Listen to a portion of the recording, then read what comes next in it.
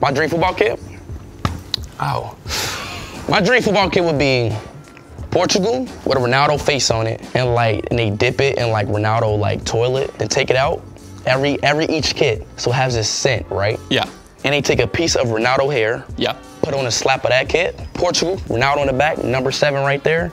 The GOAT right there. That's the most perfect Ronaldo kit I will ever see in my life. I would cry if I ever get that Ronaldo kit.